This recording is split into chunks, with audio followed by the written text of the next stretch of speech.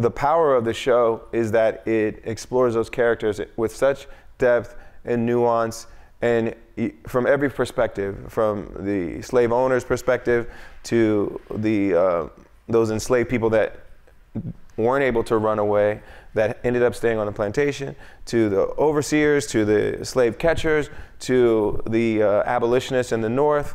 Um, you really understand them as people and understand their motivations so that it makes the story really rich.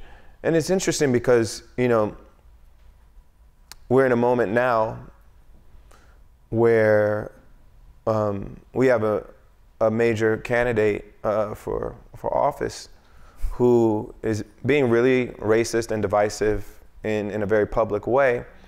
And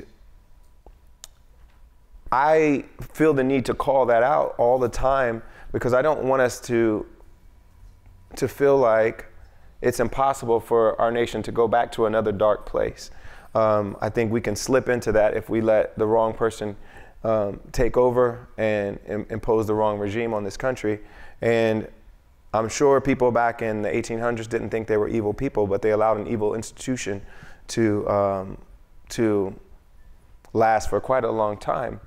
And so, I think we as people who believe in equality and people who believe in diversity and believe that every human being's life matters, we should be vigilant about making sure we don't elect leaders that are contradicting that belief.